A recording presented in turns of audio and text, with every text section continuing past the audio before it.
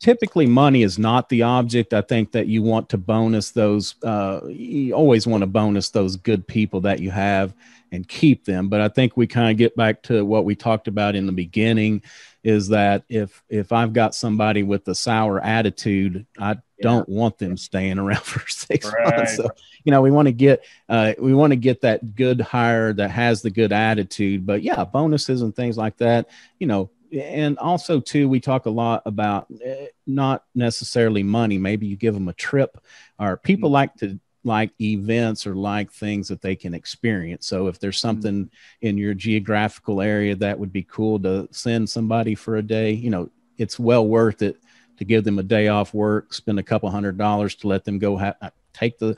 if you close early on a you know let's say a friday afternoon send the the women if they want to go down and do the manicure pedicure you know pay for